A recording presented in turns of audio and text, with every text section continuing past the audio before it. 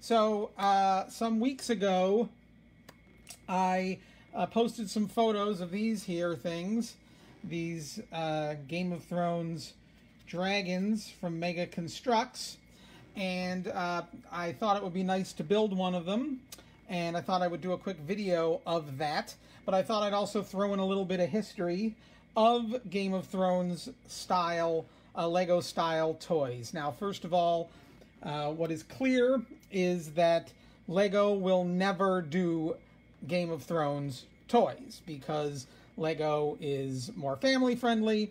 Game of Thrones has a lot of sex, a lot of violence, and it's probably just a bit too much for for Lego.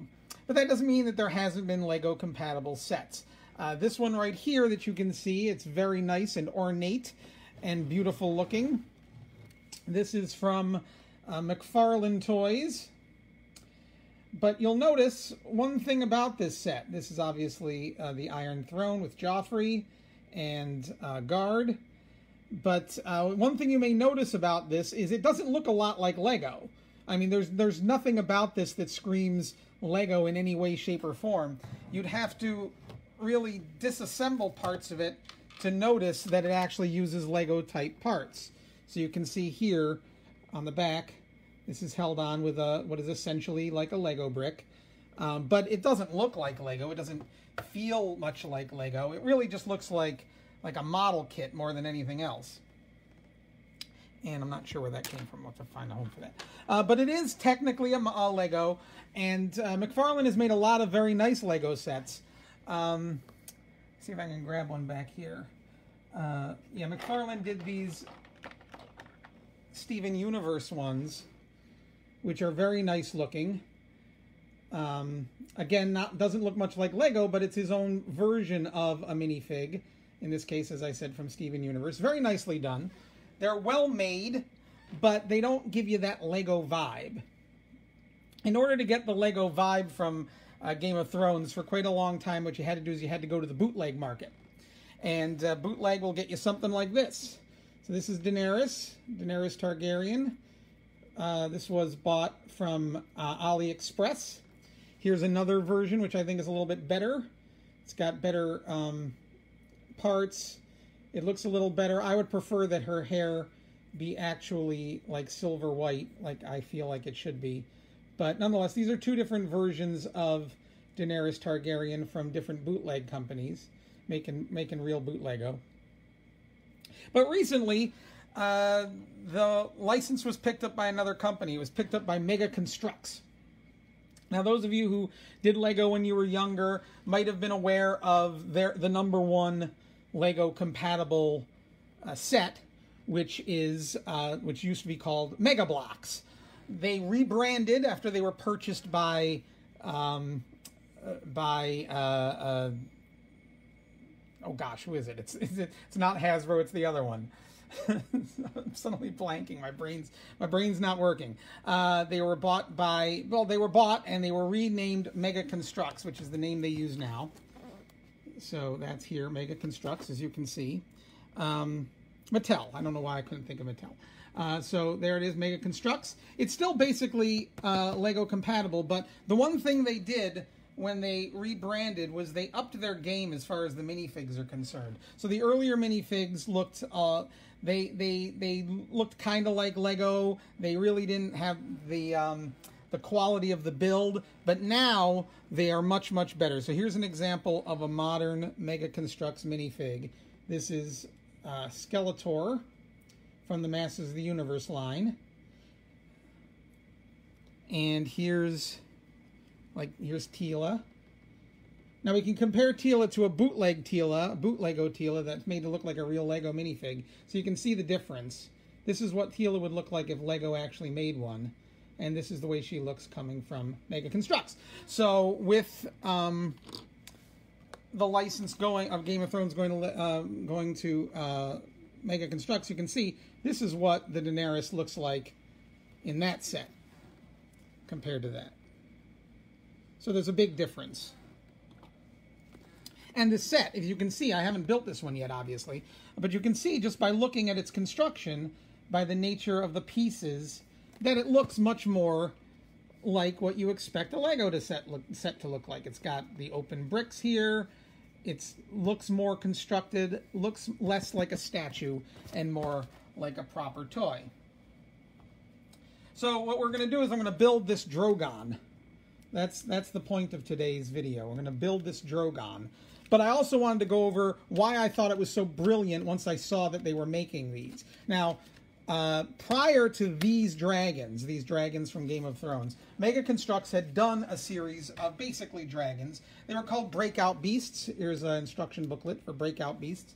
Breakout Beasts came in blind uh, packages. And here's an example of one of them. This is a lovely dragon that they did. That always keeps falling off. I gotta uh, get that back on. So, lovely dragon, wonderful construction.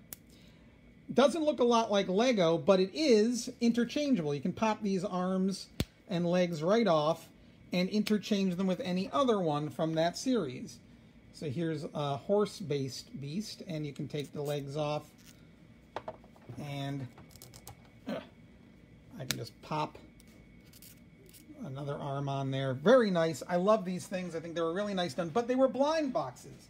And uh, that's kind of annoying if you're a kid and you spend $15, which is what they cost, and you get uh, you get the same guy like twice. Why that would be really annoying. Oh yes, there was also another version, which is this guy. These were called uh, the Crystal Creatures, and they're very nice. They've got these little crystals on them. This one obviously is like a, a reindeer of some kind. There's also this one here, another kind of mystical beast. But again, these are the same construction, so these legs can come off and interchange with the breakout beasts just fine. Now the neat thing about the breakout beasts, when I when I bought them, I bought them on clearance, so I didn't mind so much, and I was lucky. I only got one double. Um, is this is the case they came in? This is their case. This is their blind bag. You just pop it open, and they they were inside. And you'll notice that's that's quite quite similar to a, a, dragon egg from Game of Thrones. So they were obviously primed for this series, and I'm glad these are not blind because that would be annoying. I was able to buy all three of the dragons. I've got a girl over here. Um, and uh, so that was much better. That was not as annoying as it would have been otherwise. Okay, so I'm just going to, so with that, with a little brief bit of history of Game of Thrones in uh, bootleggo form and uh, a quick look at some other related items. Let's crack open this here Drogon. Now, I don't save my packaging. I used to. All my packaging, all my action figures, all my I had I keep everything forever. It just piles up. There's just too much. There isn't enough space in the world for all the all the things.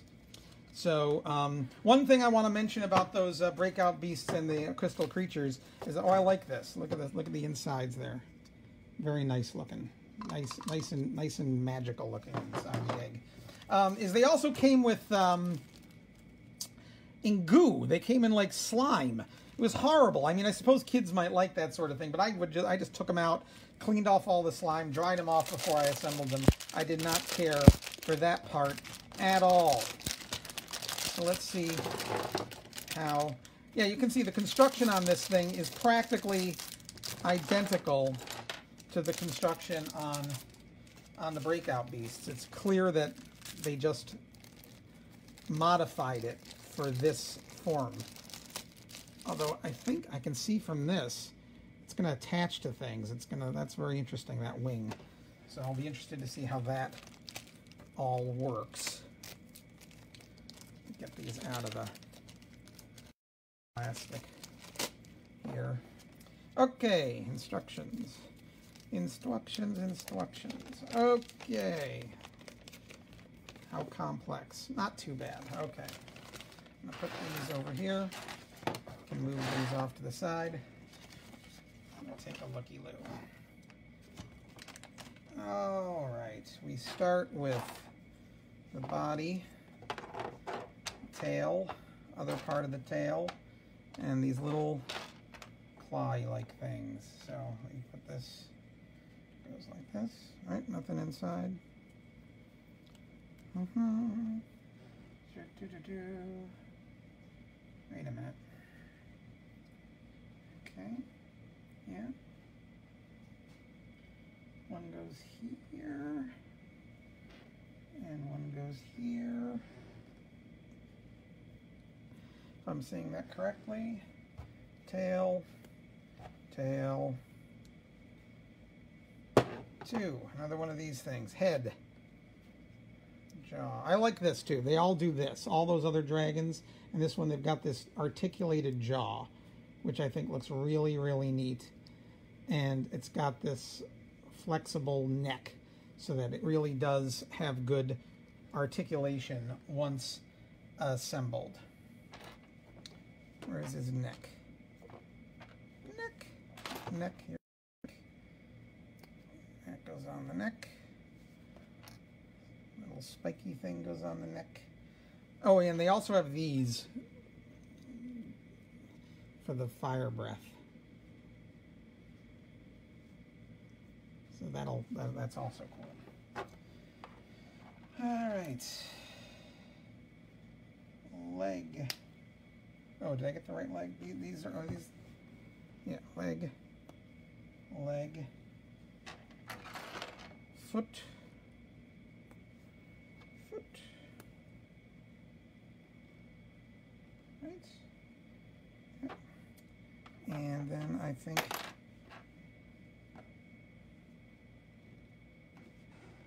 Oh, I got it upside down. Well, sometimes you're just not sure. Okay. There we go. That's some more like it. Okay. Now, I have to take this, and that goes on that, and becomes one arm, or one wing. I guess that's the wing.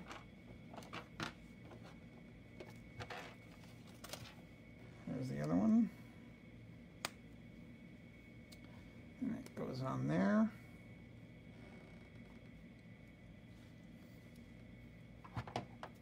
Oh. Oh, okay.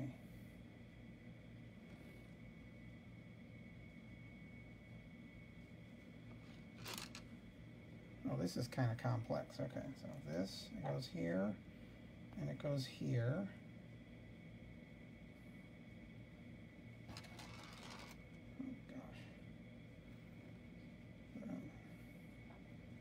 Goes around this. And this goes around that. And oh, oh, oh. Wow, that's that's a that's a nice complicated little wing there. And I guess we do the same with the other. Goes there. That goes there. Around the end. Oops. Around the hook. Up to this. And, oh no, I think I did that. No, no, I think that's that's right. There. Wings. Wings. Okay, very good. And then wing. And wing. And head. And there it is and then they've got a stand. I by historically these stands are not that strong, but it should be able to stand on the thing here. Traditionally, it's anything like the other ones. You just stick that on there, and then he's flying, and there he is. There's Drogon very nicely done. These are these have wonderful articulation, just like the just like the battle, um, just like the breakout beasts. Um, I'm, I'm assuming that I could interchange these parts with the breakout beast because they they're exactly the same type. Not too many pieces, not too complex. So I think even uh, less experienced builders will have no problem assembling this dragon. And even if you don't know Game of Thrones, even if you're they got a kid who obviously shouldn't be watching the show and hasn't watched the show, it's a solid, very nicely done um, dragon. So that's it. Thanks for watching.